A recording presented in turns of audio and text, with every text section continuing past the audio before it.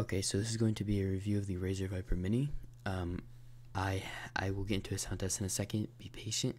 Um, I did main this mouse for a very long time since it came out. Actually, uh, I was going to actually make a video comparing it to the Ultralight 2, but I decided I originally bought an Ultralight 2. It got to me, but the scroll wheel was completely messed up, so I decided not to get another one, and I got a Pwnage Ultra Custom.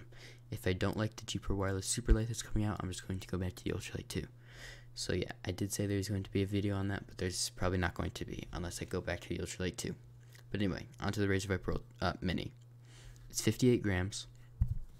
It comes in at 58 grams, um, $40, and use a 33.59. I am going to unplug the mouse, but this is the RGB. It's nothing special. You can change it in Razer Synapse, but you probably shouldn't download Razer Synapse. It's terrible. okay as I was saying, the right and left click are, this is the sound test.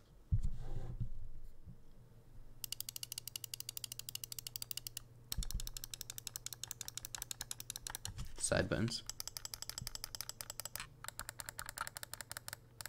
Scroll wheel.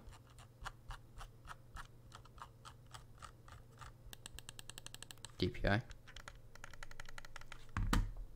So the right and left click are pretty mushy, um, but it's nothing that should make or break your mouse experience. They are optical, so you're kind of asking for it. Um, so yeah, they do have a, a decent amount of pre and post travel, but it's not the end of the world. The side buttons, the top side button is extremely nice and crispy, but the bottom side button is terrible. You can push it into the shell. This way. Literally into the shell.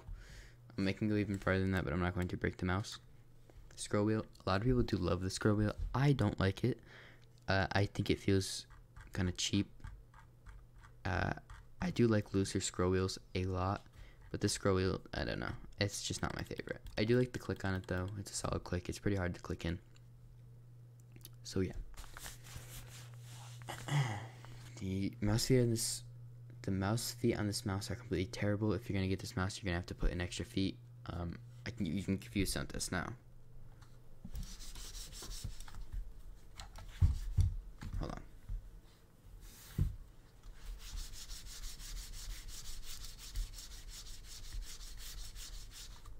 They're extremely scratchy. The scratchiness is coming from this right here, this little plastic ring. I don't know why they didn't put a mouse skate on it, but you can definitely feel it on your mouse pad. Even the mouse feet themselves, the PTFE feet, are not very good. Um, I am really throwing it. I'm really sorry about that. I'm really throwing it to get it this far. I know a lot of other mice that would go way farther with that amount of force. Onto the coating, and then I'll get onto the shape.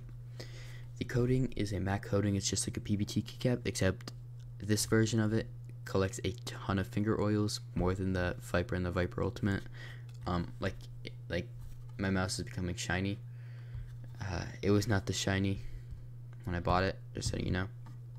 And the sides do get quite a bit of grease. You can see from that angle. And I don't know why my fingers are orange. They're not actually orange, I promise you.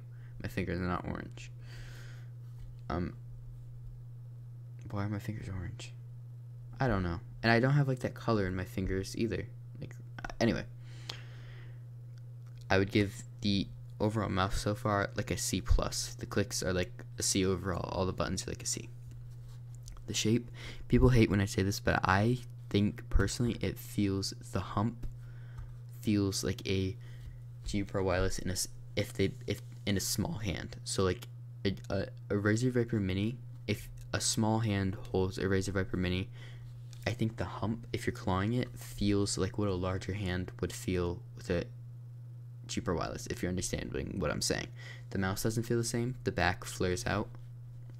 On the Razer Viper Mini and the front flares out. G Pro Wireless is just like a like egg like potato thing. Um I do like how the front curves out. Um, but I feel like this is a very fingertip orientated shape just simply because the back is not comfortable for your pinky. I have very small hands and I can't get comfortable clawing it. I've clawed smaller mice like the Ultralight 2. I was extremely comfortable with that mouse. Uh, so yeah. Overall, I mean, the shape is is is a solid shape. I I do wish the back flared out a little bit more, but it's not the end of the world because most people are going to be fingertip gripping this mouse, and I do feel like it's a very good fingertip mouse.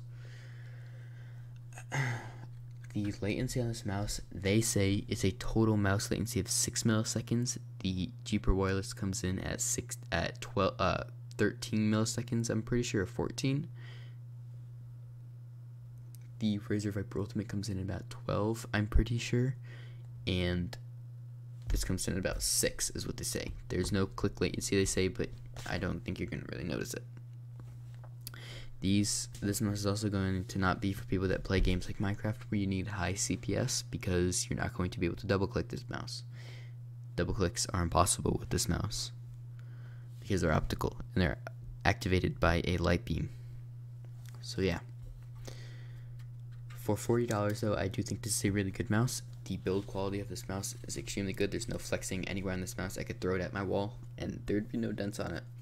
I am concerned I'm convinced there would be no dents. So yeah, overall, I think this mouse is a solid option. Um, the cord, as I said, is probably one of the weakest points. I really think they could have done a better job. Um, but three things I do like about this mouse would probably be the um, coating. I do enjoy the coating. It's not for everybody, but it's solid coating.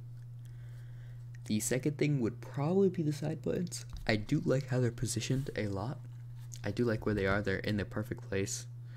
Um, although they need, they do need to get the backside button fixed. It's happened on my other model too. Um, I would say the main thing I do like about this mouse, I do overall enjoy the shape. I do overall. Um, I do aim probably the best with this shape out of all of my mouse mices. Probably because I've used it the longest I've used it since release. But yeah.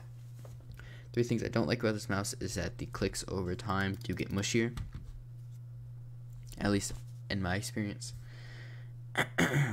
the cord obviously is just terrible. And you can't really paracord this mouse because when you open it up, uh, it's one of the hardest mice to paracord, so you're kind of stuck with a stock cable. Um, the second thing would probably, or the third thing would probably be the feet, but I don't even think that's the biggest issue. I just think it's it's the feel of the buttons overall. I think they could do a little bit better. Um, not even the right and left click. I think the right and left click are fine. If they tensioned them a little bit more to make them have a little bit less post travel, that'd be good. But the side buttons, the feel of them are just not very good. And the scroll wheel does have a pretty nasty sound. So overall, for forty dollars though, this is a very good mouse, and you do, in my opinion, I do kind of feel the lower latency. Um, it just total mouse latency. It's not in the clicks. It's just movement wise.